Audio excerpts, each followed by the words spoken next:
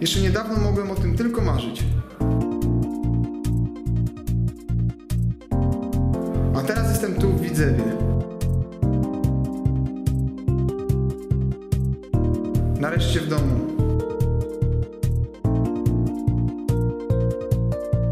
I znów chcę zwyciężać.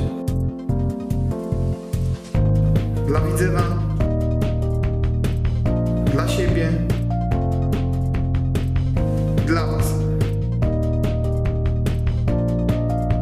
Musicie być z nami. Zwyciężajmy razem.